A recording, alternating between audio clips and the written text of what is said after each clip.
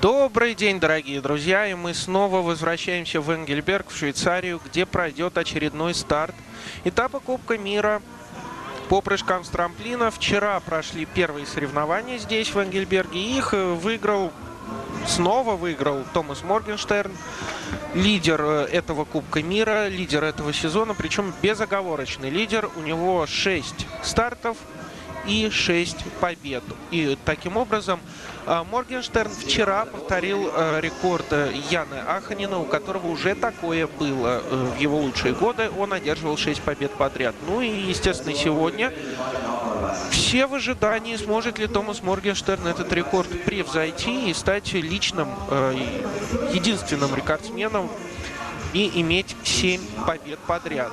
Но э, следует также отметить, что вчерашний старт э, получился впервые, пожалуй, в этом сезоне, ну, за исключением этапов Кусама, когда была серьезная борьба. Так вот, вчера получился такой старт, где не было полного доминирования Томаса Моргенштерна. После первого, первого раунда он был третьим. И только лишь, пожалуй, ошибки и ошибку, которую допустил Андрес Кофлер, э, вот эта ошибка позволила Моргенштерну выиграть, потому что 4 балла было преимущество у Кофлера перед Моргенштерном э, после первого прыжка. Но э, в итоге Кофлер неудачно, неудачно совершил прыжок. Ну, как неудачно? Он в итоге завоевал, конечно, второе место на этапе, но упустил лидерство. Снова мы видим технические характеристики трамплина. Трамплин чуть больше, чем обычный 120-метровый. Э, линия капоинт здесь расположена на отметке 125 метров, хотя хилсайз его составляет вполне стандартную величину 137 метров. Ну и по традиции за один метр э, начисляется 1,8 балла. Прошла с утра квалификация, мы ее не видели. Э, вы могли наблюдать квалификацию в пятницу к субботнему этапу, а к этому этапу э, квалификации мы не видели. И расскажу э, вкратце, как она прошла и кто э, ее выиграл.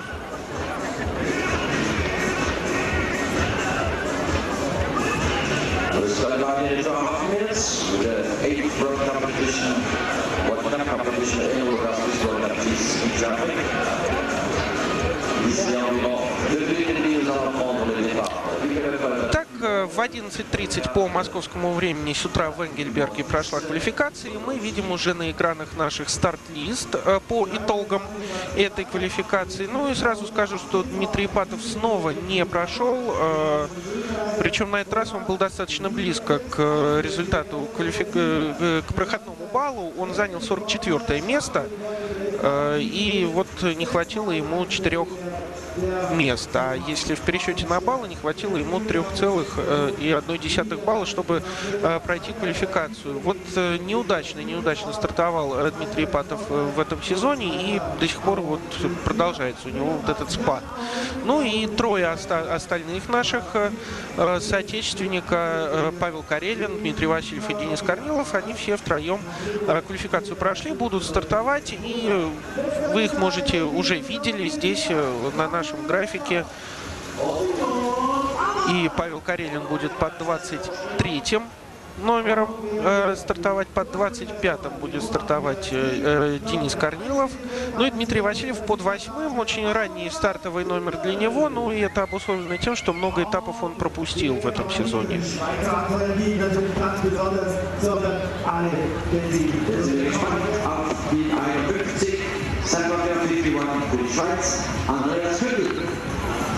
Мы видим прыжок Андреаса Кютеля. Это повтор, и он снова, э, повтор утренней квалификации, и Кютель снова выиграл квалификацию. Вот уже второй раз подряд э, здесь, в Энгельберге, Кютель э, становится лучшим среди непреквалифицированных. И, но, кстати, общий уровень результатов был в квалификации достаточно низок. Кютель выиграл с прыжком дальность которого составила 123 метра всего, то есть он даже не долетел двух метров до линии капоинт. Ну и вы представляете, это победитель квалификации. А, среди преквалифицированных из десятки сильнейших лучший результат показал Грегор Шлиренсауэр с прыжком на 129 метров. Э, Томас Моргенштерн на 128 метров улетел. И Адам Малыш, третий результат, 125,5. Ну а все остальные, семеро, они не долетели до отметки 123 метра, до которой долетел победитель. Квалификация Андрес Кютель. Стартовые ворота были 14 на квалификации. И вот, похоже, сделали определенные выводы. Организаторы поняли, что с 14 ворот мы не сможем понаблюдать за 130-метровыми а, прыжками и чуть-чуть приподняли, чуть увеличили гору разгона. Сейчас первая попытка. И стартовать будут спортсмены с 16-х ворот. Митя Мезнер открывает эти соревнования. Представитель Словении. А, молодая Порсель. Ему а, всего 20 даже нет еще 20 лет, 19 э, ему лет. И первый прыжок в Ангельберге.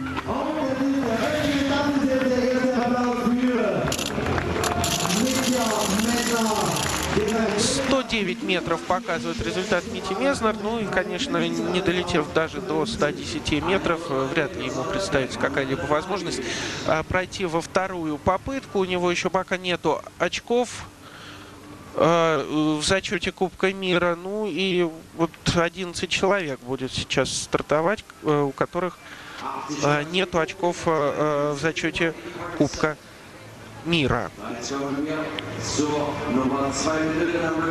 Вилли Ларенто.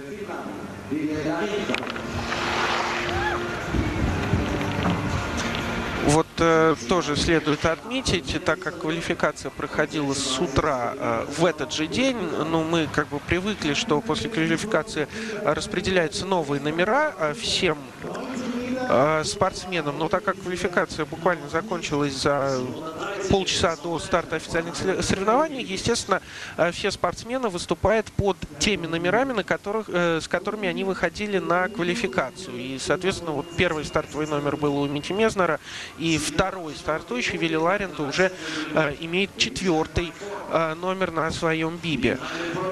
Следом за ним Ян Матура из сборной Чехии. Вот снова он прошел квалификацию. Спортсмен опытный, 80-го года рождения. И Э, это уже его э, шестой сезон э, в Кубке мира. В принципе, добивался он неплохих успехов и попадал в десятку сильнейших даже, но в итоге пока совсем нестабильно выступает Матера, то есть он не всегда даже попадает, не проходит, не всегда проходит квалификацию. Что ж говорить о попадании в очки. Но вот сейчас вполне приличный прыжок совершает Ян Матура. У Мити Мезнера был прыжок на 109 метров. Это неудачный был прыжок. И у Вилли Ларента на 113. Ну и Ян Матура пока самый далекий, самый лучший прыжок а, исполняет. И в принципе, если смотреть на общий уровень квалификации, хотя э, на две ступеньки ниже стартовали спортсмены, э, есть все шансы для Матуры попасть в тридцатку сильнейших. Йон Ик Чой, э, представитель сборной Кореи. Вчера была очень интересная, необычная картина, когда сразу целых три корейских, три южнокорейских спортсмена стартовали в первой попытке, и все они трое прошли квалификацию, попали в 40 сильнейших. Вот сейчас у нас более привычная картина на экранах. Два корейца, Йон Ик Чой и Йон Чуй Чой. А, Причем э, второй э, Чой уже вчера э, заработал очки. Он был 29-м, получил 2 очка в зачет Кубка мира и находится сейчас на предпоследнем 52-м месте. Делит он его как раз с, с Радиком Жапаромом. Эрик Симон на наших экранах. Вчера он открывал соревнования, но вот сейчас он уже получил чуть повыше стартовый номер, но не смог он пройти вчера э, во вторую попытку. И пока у него ноль э, стоит в графе набранных очков за счет Кубка мира. Но вот такая необычная у него техника, кстати, э, разгона. И я не знаю, может быть, и она тоже в какой-то мере влияет на скорость на столе отрыва. В итоге 108,5 метров у Эрика Симона. И, конечно, неудача э, сборной Германии. Это ну, в принципе, в последнее время это, конечно, сплошная главная боль, и э, очень много у нее проблем, и когда лидерами команды являются два человека, недавно оправившихся от травмы, Михаил Ноймайер и Михаил Урман, Э, в общем, это говорит о общем невысоком уровне. Ну и, конечно, выступление Яна, Шми... Яна Шмидта, Мартина Шмидта э, в континентальном кубке тоже говорит о том, что Мартин Э, вроде как набиравший потихонечку форму в начале сезона и неплохо выглядевший летом на летнем гран-при, Мартин Шмидт э, снова испытывает трудности и его перевели в континентальный кубок. Антонин Хайек из сборной Чехии. Вот для него тоже очень неудачно складывается начало сезона. В прошлом году он, э, ну, во всяком случае, постоянно попадал в тридцатку сильнейших и набирал очки вместе с Романом Куделькой то в этом сезоне Антонин Хайк пока еще не набрал ни одного очка. Да, он проходит постоянно квалификации, но, опять же, это не его уровень, э, не уровень, э, не тот уровень, который он показывал в прошлом году. И снова 110 метров у Антонина Хайка. Ну и, конечно, никаких шансов практически нет у него уже. Северин Фройнд, тоже видели мы этого спортсмена вчера.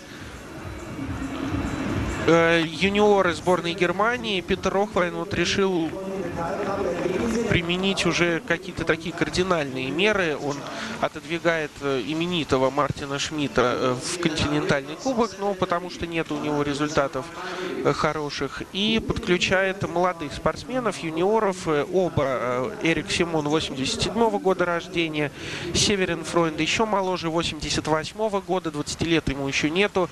И вот пытается, пытается как-то подключить уже молодую поросль к сборной Германии Питер Рохвай, но пока у него это не получается. Но, с другой стороны, всего лишь второй старт для этих ребят э, серьезный. И посмотрим, что будет э, впереди. Камил Штох, первый представитель сборной Польши на наших экранах. И Камил Штох, пожалуй, показывает пока лучший прыжок. Напоминаю, на данный момент лидирует Ян Матура с прыжком 115,5 метров. И Камил Штох 119 метров. Э, хорошая заявка, причем не, на, не только на попадание в тридцатку сильнейших, но и, пожалуй, на попадание в двадцатку сильнейших. Хотя еще достаточно много спортсменов осталось, но прыжок на 119 метров. Э, вот в таких условиях не очень благоприятных он э, хороший. Выглядит он очень прилично. Скажу, что внешне не видно, каких-то проблем для спортсменов. Э, вроде и снега нету, и температура воздуха нормальная. Э, не очень холодно, но и не тепло. Но вы видели только что на графике, что ветер попутный. Причем ветер не слабый, 2 метра в секунду. Это уже э, достаточно ощутимо для спортсмена. Когда ему дует в спину ветер э, 2 метра в секунду, то прибивает он, конечно же, э, спортсмена к земле. И вот таких супердальностей вряд ли можно увидеть.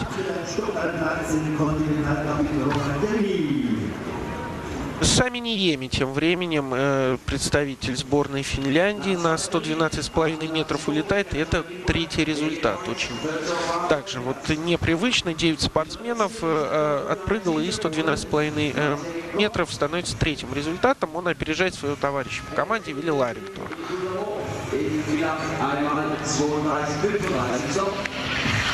Еще один поляк Мацей Кот, но это совсем молодой э, прыгун 91 -го года рождения, вот ему 16 лет. Э, причем вот как раз тот самый возраст, в котором Грегор Шлиренцауэр заявил о себе в прошлом э, году. 112 метров у Мация Кота, ну и это будет пятый либо четвертый результат у поляка. Ну, а Камил Штох, конечно же, э, с прыжком на 119 метров точно уже практически, э,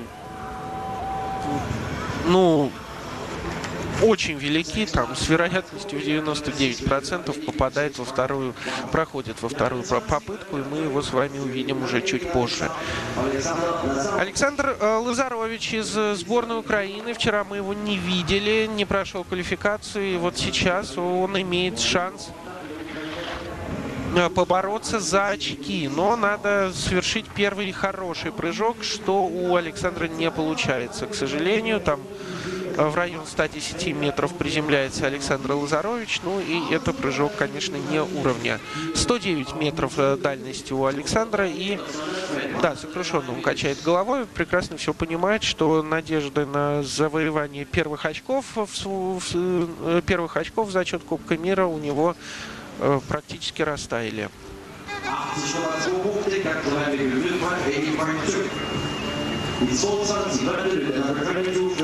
Ну и вот первый, э, уже первый спортсмен, который имеет очки в зачете Кубка мира. Всего лишь одно очко, но оно уже есть на счету у Винсана де Комас у ВАЕ и его первый прыжок.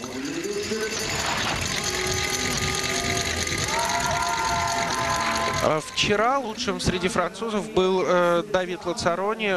Очень хороший результат он э, для себя показал, но э, разочаровал Эммануэль Шидаль, который в Виллахе на предпоследнем старте очень хорошо выступил, занял десятое место, вообще попал в десятку сильнейших для французов. Это, конечно, очень здорово. Ну а вот вчера отметился э, Давид Лацарони хорошим результатом. И Эммануэль Шидаль, кстати, вот после своего попадания в десятку он не попал в тридцатку сильнейших. Ну и теперь Винсан де Ком с прыжком на 105 метров вряд ли, конечно, на что-то может рассчитывать. Второй представитель Южной Кореи Йонг Чуй Чой. Вчера он попал в очки, 29-м был. И, конечно, вот на такой волне может тоже попытаться и сегодня взять какие-то очки. Ну и вот такой прыжок дарит ему надежду. 115,5 метров у Йонг Чуй Чоя. И сейчас подождем оценок. Та же, та же дальность была у Яна Матера. У него 93,9 балла. У Йон Чучоя может быть чуть-чуть получше. Хотя нет, оценки в 17, 17 с половиной баллов. Получается, да, получается, что он те же, те же баллы получает, что и Ян Матур. И вот они, корейцы и Ян Матур, делят второе место. Радик Жапаров на наших экранах тоже два очка у него есть э, в этом сезоне в зачете Кубка мира. Ну и э, непривычно Радик Жапаров не является лидером сборной Казахстана, а лидером сборной Казахстана является Николай Карпенко. Причем он уже заработал э, на свой счет 18 очков, намного лучше, увереннее и стабильнее Радика Жапарова выступать Николай Карпенко. Ну и скоро с вами мы его увидим. Это прыжок Радика Жапарова. Нет, очень далекий, 113,5 метров, но позволит он ему сейчас в предварительную пятерку сильнейших попасть. Э, напоминаю, лидирует Камил Штох с прыжком 119 метров. Ну, и я думаю, еще достаточно долго будет держаться этот прыжок. Ну, может быть, не в лидерах. Э, будет оставаться Ян Матера, но, Камил Штох, но во всяком случае в первой тройке он еще продержится достаточно долго. Четвертый результат у Радика Жапарова 88,8 балла, ну и есть определенные надежды. Э, Вели Мати Линстрем э, постоянно э, стартует, вот начиная с прошлого года Вели Мати Линстрем в Кубке мира, но совсем он далек от той формы, которую показывал 3-4 года назад. Вот сейчас Линстром к 120 метрам улетает. Э, скорость у него была, кстати, одна из самых лучших, 93,7 километров в час. И вот 120 метров. Первый 120-метровый прыжок. 5 метров не долетел до расчетной точки трамплина калькуляционной линии, но это самый далекий прыжок. Томми Никинен, кстати, не выразил какую-то определенную большую радость вот этим прыжком Вильяма Линстрема и обуславливается тем, что все-таки до сих пор ожидает, ожидает от Линстрема а, главный тренер сборной Финляндии все-таки улучшение результатов. Юрий Тепиш из э, сборной Словении.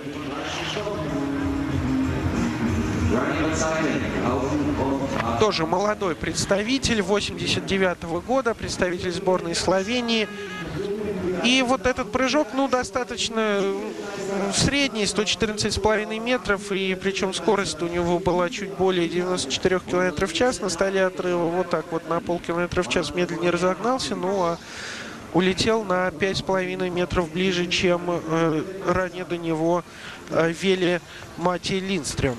Э, пятый результат у Юрия Тепиша, но есть шансы на попадание в тридцатку сильнейших. И вот в зачете Кубка мира у Юрия Тепиша на одну очку больше, чем у Линстрема. У него 7 баллов. Себастьян Колоредо, представитель сборной Италии.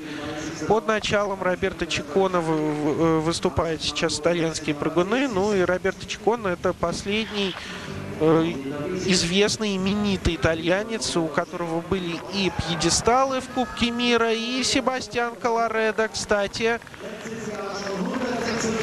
Хороший прыжок совершает, и не просто хороший, 123 метра дальность полета у Колоредо, ну и это вот с таким результатом сегодня утром победил в квалификации Андрес Кютель. Определенно очень такая серьезная заявка в лице Себастьяна Колоредо. Заявка на приличное место уже в итоговом протоколе. Роберто Чикон, но вот опять же тоже не совсем доволен, что, ну, скорее всего, по понятно, что лучше, лучше мог э, прыгнуть Себастьян Колоредо. Э, находится он сейчас Э, в хорошей форме и, пожалуй, 2-3 метра мог даже добавить Себастьян Колоредо в этом своем прыжке. Если бы несколько поактивнее отработал на столе отрыва и Георг Шпет следом за ним. Георг Шпет, который прекрасно, кстати, выглядел летом э, на Гран-при, но пока ничего хорошего не может показать зимой. Уже в основном Кубке мира. Правда, 123,5 метра прыжок у Георга Шпета – на полметра дальше, чем у Себастьяна Колоредо. Но опять же, Георг Шпет э, является э, представителем элитного, в принципе, дивизиона. И попадание в двадцатку сильнейших для Георга Шпета не является каким-то определенным знаковым э, большим успехом. И были в его карьере и подиумы, три третьих места, одно второе. Побед, правда, не было, но вот в этом году лучшим результатом Георга Шпета был 22 результат, 22 место в Трандхейме на втором старте в этом сезоне. Гедоландер Гидро Ландер, кстати, в этом сезоне выглядит намного лучше себя самого прошлогоднего. Он уже заработал 17 очков э, в зачет Кубка мира. Ну и гораздо чаще попадает он в тридцатку сильнейших, чем в прошлом году. Правда, вот 116 метров э, в исполнении Гидоландера в первой попытке вряд ли позволит ему набрать какие-то хорошие очки. Э, скорее всего, попадет он в тридцатку сильнейших. Три раза он уже попадал э, в тридцатку в этом сезоне. 24-м было и два раза 25-м. Сейчас пятый результат у Ландера. Ну и э, он был 19-м. То есть нам осталось посмотреть еще 30 прыжков. Ну и есть шанс у Гидоландера попасть в тридцатку сильнейших снова. В прошлом сезоне э, у Ландера было всего два э, результативных старта, а в этом уже целых три. Николай Карпенко лидер сборной Казахстана. За 115 метров улетает Николай Карпенко, 116 с половиной. И тоже есть шансы на попадание снова в тридцатку сильнейших. Э, Карпенко в этом сезоне выглядит очень прилично. 2 24 место, одно 28 э, и причем вот э, в Ингельберге он вчера здесь 24 место занял. То есть достаточно стабильно идет. Да, показывает он результаты только лишь в тридцатке, в третьем десятке, но у Карпенко появилась стабильность.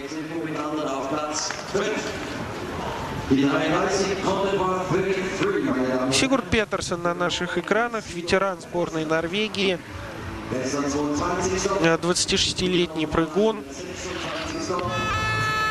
Победитель турне четырех трамплинов, правда, это уже было относительно давно, и Сигурд Петерсон тоже не блещет, конечно, э, результатами 119,5 метров уже ну, второй год, третий даже год Сигурд Петерсон не показывает того, на что он реально э, был способен уже еще не так давно. 119,5 метров этот прыжок позволит ему э, пройти в тридцатку сильнейших, но не более того. Четвертый результат у Сигурда Петерсона. Ну и будет он уже бороться за очки во второй попытке. А Примаш Петерка тем временем уже выходит на старт. 20 очков он уже заработал в этом году. Три раза он попадал в очки. Ну и опять же в двадцатке сильнейших его еще в этом году не было.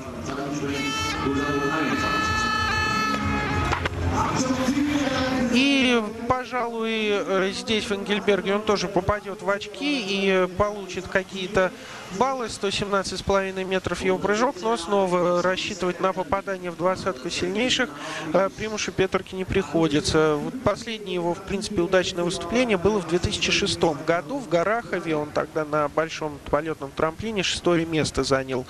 Ну и одиннадцатое место в прошлом сезоне у него было в Кусам и 17 в Лилихаммере. А, вот это были его попадания в двадцатку сильнейших. После этого его там не было. Так что Примуш Петерка, в общем, э, находится не в форме. Ну и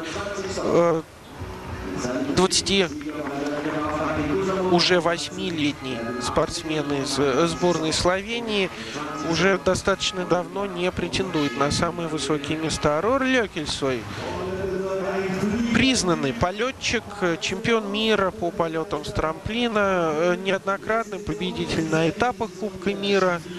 Рур Лёкельсой находится не в кондиции, что называется, в этом сезоне. Вот так вот, если посмотреть, э, окинуть взглядом его карьеру Рура Лёкельсой. 11 побед на этапах Кубка мира, 15 вторых мест, 6 третьих и в этом году Рор Лёкельсен находится не в форме.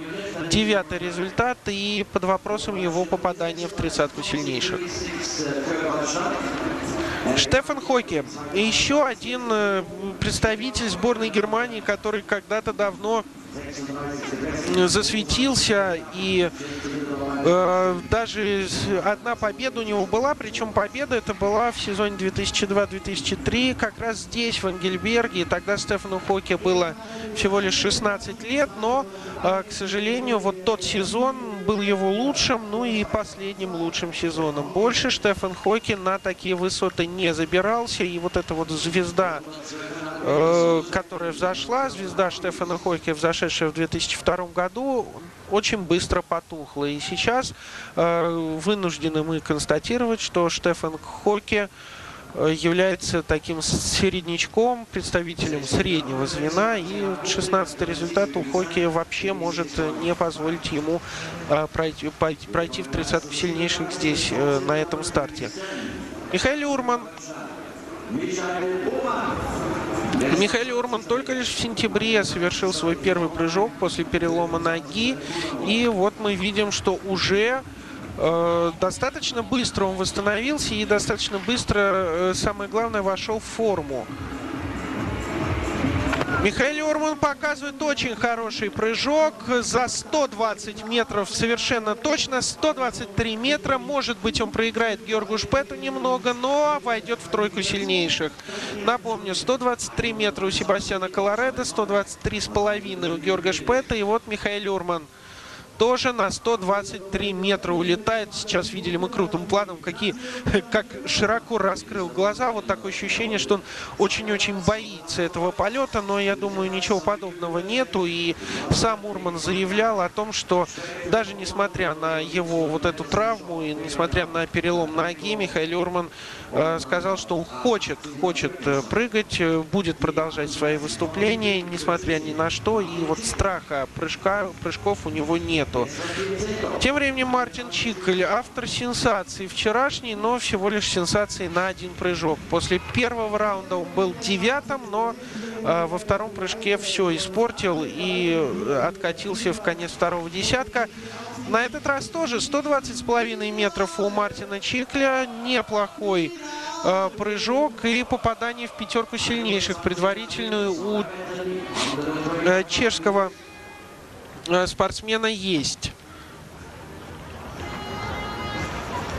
Но опять же мы еще будем ожидать э, Романа Кудельку, который сейчас является лучшим из чешских спортсменов. Ну а пока мы ждем Романа Кудельку, мы смотрим за прыжком Дмитрия Васильева. Дмитрий Васильев пропустил три старта в этом сезоне. Э, два в Транхеме, даже не три, а четыре. Два в Транхеме и два в Виллахе. Ну вот вернулся после э, несерьезной, к счастью, травмы. Дмитрий Васильев вчера попал в очки. Э, в третьем десятке он расположился. Ну и ожидаем, что покажет Дмитрий Васильев сегодня. Близко к 120, но не дотянул. И, к сожалению, похоже, Дмитрий Васильев снова будет бороться за э, места в третьем десятке. 119 метров у э, Димы. И это да, это пока будет шестое, может быть, седьмое место у Дмитрия Васильева, но еще 20 э, спортсменов нам предстоит посмотреть, и много-много человек опередит Дмитрия Васильева. Восьмой результат, 119 метров у Дмитрия Васильева. Вот э, традиционно невысокие оценки получает Дмитрий. Вот э, на 119 метров был прыжок у э, Камила Штоха, на 119,5 у Сигурда Петерсона. И им обоим Дмитрий Васильев проиграл.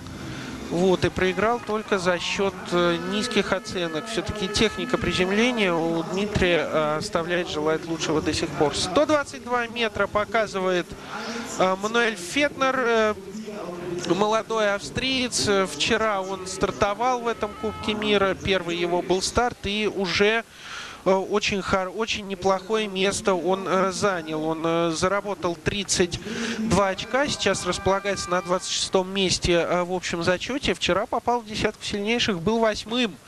Вот такой вот очень удачный старт Фетнера э, в этом сезоне. Довольно Александр Пойнтнер. Сейчас 122 метра у Фетнера. И четвертый результат э, оценки, кстати, были не самые высокие. Были поставлены Нелли Фетнеру. Дает Лацарони.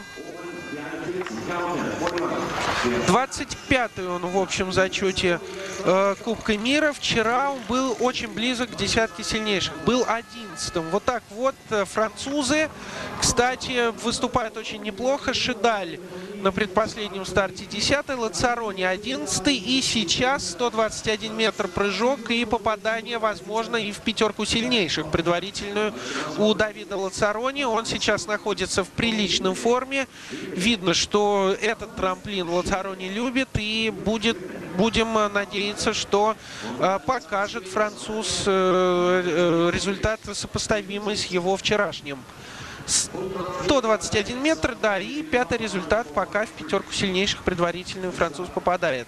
Павел Карелин, молодой россиянин, 17-летний, э, ровесник Грегора Шлиренсаура. Ну, конечно, уровень э, э, развития прыжков в Австрии и в России несопоставим, но Павел Карелин очень хорошо проявил себя летом и неплохо стартовал зимой. Сейчас он э, ну, очень похоже, да, 119 метров, тоже, что и Дмитрий Васильев показывает Павел Карелин. Сейчас ему выставляют оценки, 17-17,5 баллов э, получает оценки э, Павел Карелин. Ну, и это будет... Это будет приблизительно столько же, сколько и э, у Дмитрия Васильева. Э, девятый результат, 100,7 балла. Нет, опережает он Васильева и э, показывает тот же результат, что и Камил Штох. Э, девятое место они пока делят э, с поляком. Ну и вот даже здесь э, молодой Павел Карелин, 17-летний, э, опережает Дмитрия Васильева, гораздо более опытного. И, казалось бы, должен в технике Дмитрий Васильев выглядеть получше, но в итоге полбалла проиграл он Павлу Карелину. Вот таким образом пока выглядит выглядит у нас э, тридцатка. Ну и осталось посмотреть 20 э, прыжков. И следующим будет стартовать э, Андерс Якобсон. Да, и следует констатировать снова неудачу и Антонина Хайка, который не попадет в очки. Ну и достаточно много известных спортсменов не попадут в тридцатку сильнейших.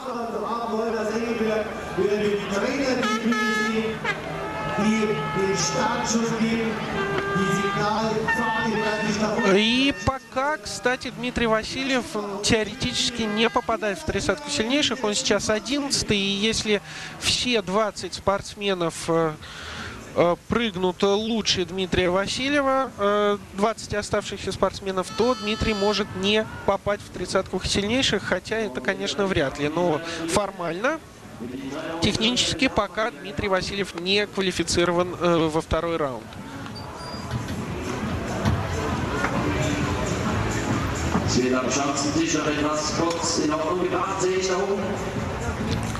Ну а мы ожидаем пока старта Андерса Якобсона. Якобсон, кстати, пропустил в этом сезоне столько же стартов, сколько и Дмитрий Васильев.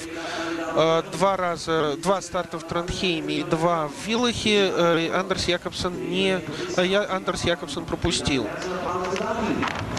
Ну, причем одновременно, получается, получили они вот травмы. Оба упали на тренировках э, в Транхеме. И Дмитрий Васильев, и Якобсон. И вот пришлось им четыре э, этапа Кубка мира пропустить. Ну, а Якобсон вчера, кстати, не смог попасть в очки, к огромному сожалению. И сейчас посмотрим, на что способен норвежец. Ну, в этот раз он в очки точно попадет. И, наконец, и заработает он Э, пополнит свой баланс. И 122,5 метра у Якобсона. И э, таким образом он в десятку сильнейших попадает. И даже не только в десятку, но и в предварительную пятерку сильнейших Андерс попал. Ну и потихонечку э, восстанавливает он свою форму. Вчера была совсем неудача, ну а сейчас, э, конечно, не то, на что... Э, несопоставимо это с амбициями вице обладателя Кубка мира прошлого года, но потихоньку Андерс Якобсон восстанавливается. Была у него травма и в конце прошлого сезона, и во многом, кстати,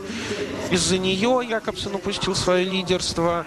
Ну и долго восстанавливался, и вообще думал он даже о завершении карьеры, потому что сильно-сильно беспокоила его эта травма. И мало того, что вроде как уже и вылечился он, но в Транхеме на тренировке снова упал и вот пропустил 4 старта.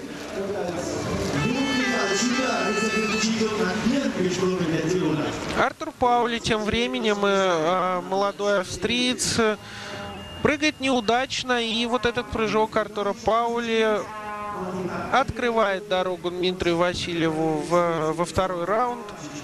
И сейчас э, Паули проигрывает Васильеву. 14 у него результат. И под вопросом, кстати, его выступление э, во второй попытке.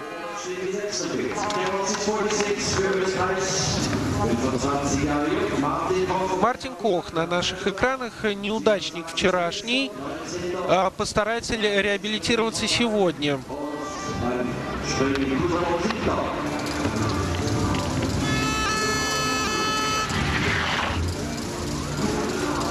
94 километра в час у Мартина Коха и прыжок в район 120 метров.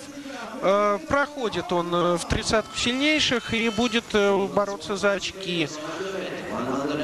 Мартин Кох в этом сезоне, в принципе, выступает-то не очень удачно. Причем он идет так постепенно все хуже и хуже. Седьмым он был в Каусама, девятнадцатым в Транхейме и двадцать седьмым вчера в Энгельберге. Все получается с каждым стартом все хуже и хуже. А так, получается, три раза он попадал э, в очки и шесть стартов. Э, получается, что половина из этих стартов Мартин Кох не мог даже попасть в тридцатку сильнейших. Сейчас пятый пока результат. 122,5 метра у Мартина Коха и Эммануэль Шидаль, автор Э, сенсаций в Виллахе. Десятое место у него было. И вот во многом благодаря этому десятому месту Эммануэль Шидаль сейчас находится на девятнадцатом месте в общем зачете Кубка мира и имеет 64 очка.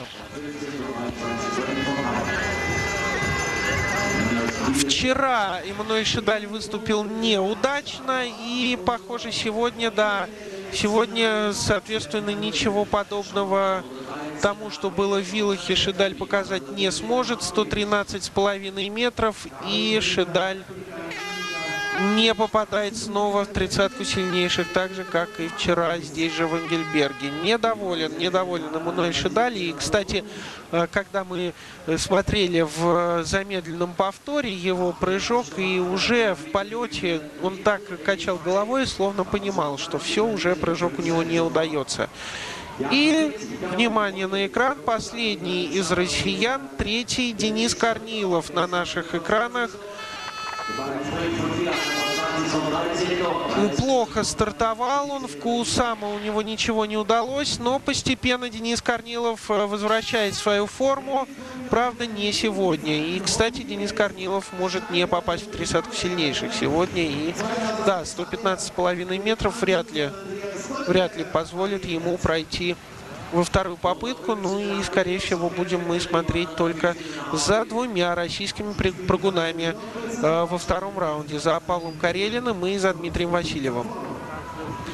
Ну и мало того, что э, прыжок недалекий у Корнилова получился, да и э, приземление неудачное, 17 баллов и 18 всего лишь результат.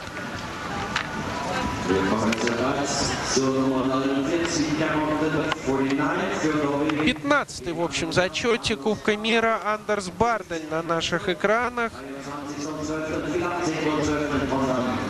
20 guter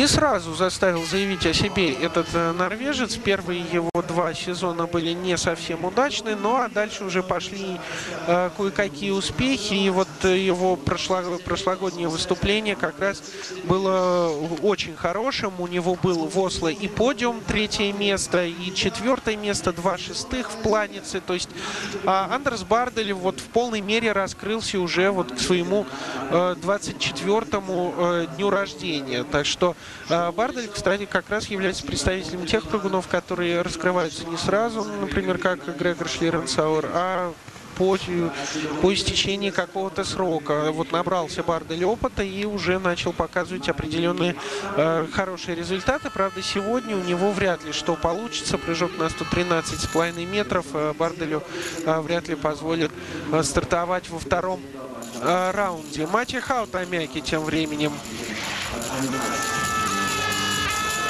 выходит на старт и снова и снова блестящая техника у Мати и никакой дальности. Нету мощности прыжка у Мати Хаутамяки. Вчера была неудача у него и не попал он в очки. Ну и похоже сегодня то же самое э, с ним произойдет. Хорошо он стартовал, пятым был в Кулсама и говорил все о том, что э, мать Э, будет э, в этом сезоне э, рассчитывать на определенные успехи и показывать высокие места, но ничего у него не получилось. Пока не получается. Пятый в Кусама, десятый в Транхиме и во втором же старте в Транхиме четырнадцатый. После этого попаданий в, очков у, в очки у матча Халтамяки не было. Это синий бип, победителя квалификации Андреса Кютеля.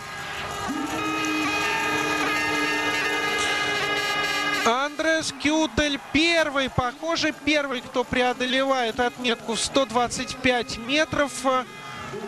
Очень похоже на то, что к линии Капоинт он улетел. Да, 125,5 метров, и Кютель становится лидером наших соревнований. Э, сейчас он находится на 13 месте в общем зачете, и, конечно, нужно, нужно ему э, возвращаться в десятку сильнейших. Спортсмен такого уровня, который вынужден проходить квалификацию, это, конечно, ну, это не порядок, что называется. И Кютель э, вот снова и снова пытается прорваться в эту десятку сильнейших. И все шансы у него были в Виллахе. Он лидировал, делил лидерство Виллахе вместе с Томасом Моргенштерном после первой попытки. Но а, второй прыжок он провалил, прыгнул плохо, но мало того, что плохо, еще плюс ко всему упал после приземления и э, опустился он э, в конец второго десятка. Михаил Ноймайер. Михаил Ноймайер, который вчера прекрасно выглядел, сегодня сегодня выглядит похуже. Проигрывает он Андрюсу Кютелю и, похоже, не только ему. 122,5 метра. Проиграет он, похоже, и Михаилу Урману, и Себастьяну Колоредо. Ну и Георгу Шпаты, Шпету, кстати, тоже. Э, получается у нас что? Лидирует Андрес Кютель, второй Георг Шпет до сих пор. Третье место делят Михаил Урман и Себастьян Колоредо. Ну и вот туда же, в район 122,5 метров, улетает Михаил Ноймайер. Вот так вот получается, что представители сборной Германии, ну, главные э, лица, э, находятся рядышком. Правда, у Ноймайера оценки подвели его 17-17 с половиной. Даже некоторые судьи поставили 16 баллов. Э, таким образом, восьмой э, Михаил Урман. И опережает он Давида Лосарони, проигрывает Мартину Коху и Мнуэлю Фетнеру. А, Роман Куделька. Неудачный старт вчера и, похоже, неудача и сегодня. Э, терпит неудачу сегодня Роман э, Куделька. 11 он в общем зачете. Очень близко находится к десятке сильнейших, но это обусловлено все двумя четвертыми местами Чеха в Виллахе. В Австрии вчера же он был 13 хотя а, после первой попытки у него ничего а, а, не было таких радужных перспектив. Да, вторая хорошая, была хорошая вторая. Сегодня же он в очки не попадет, скорее всего. Адам Малыш открывает десятку сильнейших. Э, вчера был седьмым после первого прыжка. Была неудача во второй попытке, но следом за ним вообще был такой очень странный провал. Подряд и Малыш, и Аянаханин, и Бьерн Раморен выполнили крайне неудачные прыжки. И Симон Аман, кстати, тоже и вот э, среди этих, э, этой четверки неудачников второй попытки Малыш был лучшим, ну и э, занял в итоге по итогам двух прыжков десятое место. Сейчас 120 метров у Малыша, еще хуже, чем сегодня в квалификации, но так как ему квалификацию проходить не надо было, он оценки за тот прыжок не получил, но улетел-то он на 125,5 метров. Э, и причем с 14 ворот. Сейчас он старту, стартовал с 16 но всего лишь 120 метров дальность полета. И 11 место. Ну, еще 9 спортсменов, 20 сильнейших, кто он попадет. Но это, это мало. Этого мало для Адама Малыша.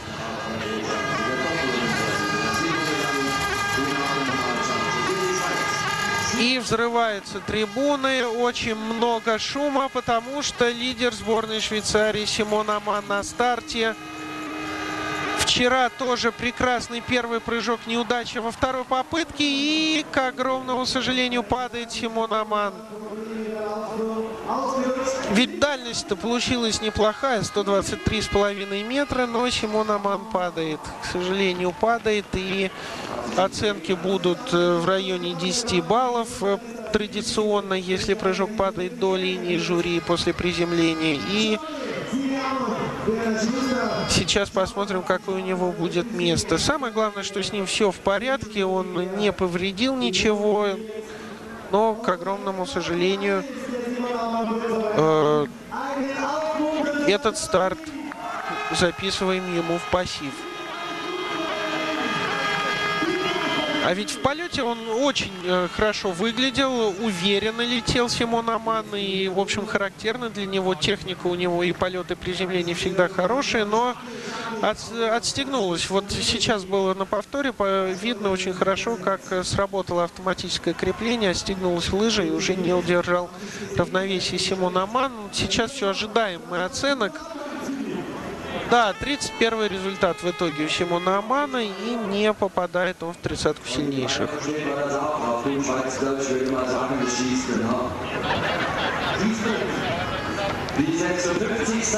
Ерный Дамин. Ерный Дамин, который был очень близок к пьедесталу почета в этом сезоне. Три раза занимал он пятое место. Вчера он вновь попал в десятку сильнейших, занял девятое место. сегодня, сегодня ничего подобного у него нету. 118,5 метров и будет э, лидер славянской сборной бороться за двадцатку сильнейших только лишь. Хотя, опять же, если не совершит он очень хорошую вторую попытку.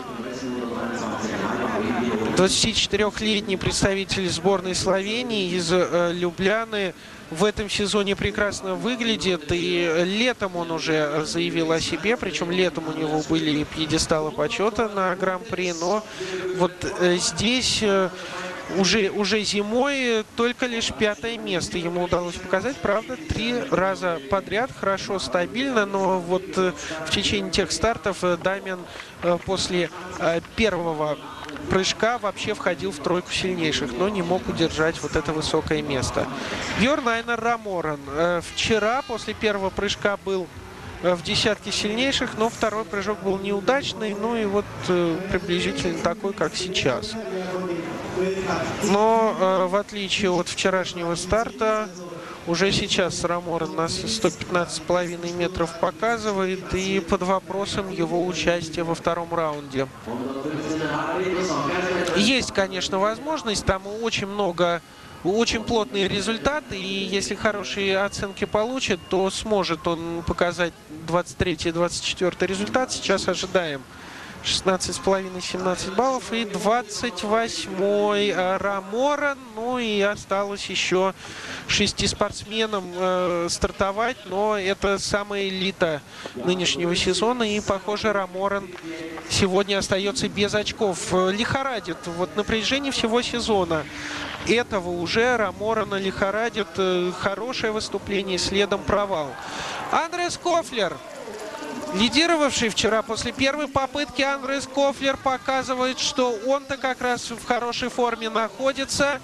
И несмотря ни на какие погодные условия, несмотря на попутный ветер, Кофлер улетает на 130 метров вот так вот. 125,5 э, метров был у Андреса Кютеля и сразу вот такой скачок. Э, в результате, да, конечно, снизит ему оценки из-за приземления и больше 17,5. Хотя нет, вот э, смотрю я сейчас уже, что судьи Кофлеру выставили 17,5, 18 баллов. 18 баллов получает Кофлер, ну и во многом это обусловлено как раз длиной прыжка.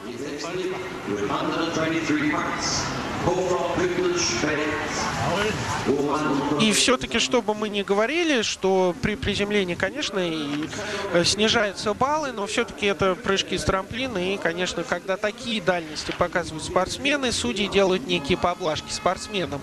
А, Вольган Клойцель, еще один австриец, еще а, одна крупная величина этого сезона. Лойцель на этот раз э, сплоховал. 122,5 метра у Лойцеля. И это будет где-то в концовке, где-то близ... в конце десятки сильнейших э, э, результат для Вольфганга, хотя он очень стабилен, он очень хорош в этом сезоне, и во второй попытке Лойцель может, конечно, выступить хорошо. И вот мы видим, например, что Лойцель, сейчас улетевший на 122,5 метра, приземлившийся, ну, явно совершенно лучше, чем Анди Кофлер, Лойцель получает практически те же оценки, даже чуть-чуть пониже, чем его э, соотечественник. Ну и все это за счет того, что он на 7,5 метров ближе улетел. Том Хильде.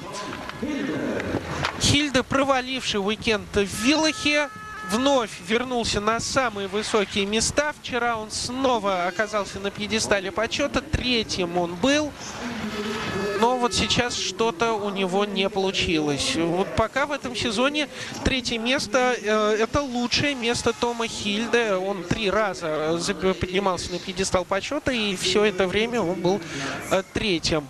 Э, сейчас за счет вот этих прекрасных своих выступлений Хильда находится на четвертом месте в общем зачете, но похоже, очень похоже на то, что и Лойцель, и э, Андрес Кофлер смогут его обойти. Да, 20-й Том Хильде, 118 метров, ну и в третьем десятке будет он находиться. Три спортсмена нам еще осталось троих посмотреть с вами, ну и в лучшем случае, э, ну и скорее всего Хильда будет 23-м после первого прыжка. Есть шансы, есть вторая попытка все исправить, ну подобраться к десятке сильнейших у Тома Хильде.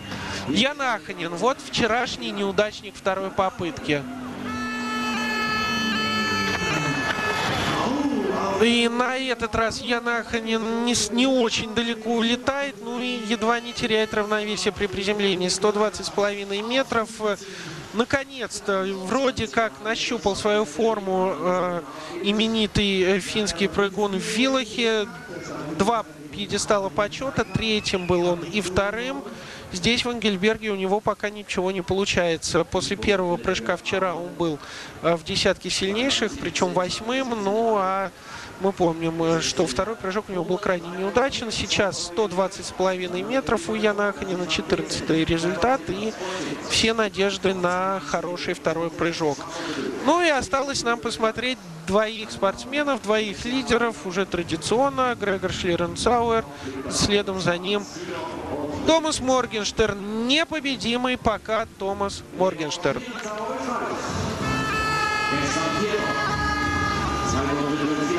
Снова вот такая вот техника отталкивания своеобразная у Шлири. И вы знаете, это, конечно, ну не то, не то, на что рассчитывал Шлеренцаур сегодня в квалификации. Опять же, 129 метров с 14 ворот и 124,5 метра с 16-х. Да, недоволен Шлеренцауэр.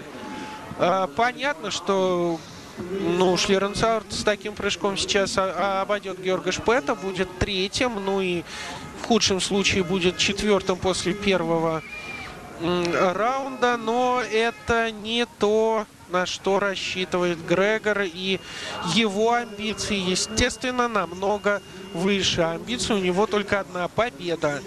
И вот для победы этого может не хватить. Да, 124,5 метра, 18 баллов получает Шлеренцауэр, становится третьим. Но много он будет проигрывать Анди Кофлеру после первого раунда. Ну и последний прыжок лидера Томаса Моргенштерна. Ну и, кстати, Моргенштерн тоже подводит. Тоже подводит. Неудачу терпит Томас Моргенштерн в первом прыжке 124,5 метра, столько же, сколько и у Шлеренцауэра. Ну и по всем, по всем параметрам он должен получить оценки хуже, чем у Шлири, и должен ему проиграть. Вот сейчас смотрю, да, 17,5 метров э, баллов в основном показывают ему судьи. Одна оценка у него 18, но она будет отброшена. Ну и в целом получается, что полтора балла будет проигрывать Томас э, своему младшему товарищу Грегору Шлиренцауэру. Да, четвертый результат 111,6 балла. Ну и у Анди Кофлера появляется возможность со второй попытки, со второго раза, со второго дубля наконец одержать победу здесь в Ангельберге. Вчера он лидировал после первого прыжка, но лидерство его составляло всего лишь 3 балла перед э, Томом Хильдой 4 перед Томасом Моргенштерном. Ну а сейчас преимущество в 7 баллов э, с одной десяткой. Это уже ощутимо. Итак, Андрес Кофлер первый, второй Андрес Кютель, третий Шлеренцауэр, четвертый Георг Шпет. И у Андреса Кютеля снова все, все шансы, чтобы зайти на пьедестал почета. Четвертый Георг Шпет. Вот наконец-то сборная Германии хорошо выступила. И за них можно, за немцев только порадоваться. Шпет четвертый, Урман пятый. И вот это вот всем поклонникам Михаила Урмана э, должно быть бальзамом на сердце. Потому что после такой травмы Урман восстанавливается. Урман пятый И делит он это пятое место, кстати, с итальянцем Себастьяном Колоредо. Вот помните, насколько был недоволен своим прыжком Колоредо, а в итоге он занимает сейчас пятое место. И седьмое место делит э, Лойцель, э, Лойцель и Андерс Якобсен. Якобсен также снова имеет возможность вернуться в десятку сильнейших. И девятое место делит Мартин Кох и Эммануэль Фетнер. Вот какие результаты плотные получились. И вот в десятке сильнейших э, получается у нас такие пары. Э, пятое место делит два спортсмена, седьмое и девятое. Одиннадцатый Михаил Ноймайер тоже достаточно высоко расположился. А, прошу прощения, двенадцатый, тринадцатый Давид Лцарони, четырнадцатый Мартин Чикаль, Адам Малыш, пятнадцатый.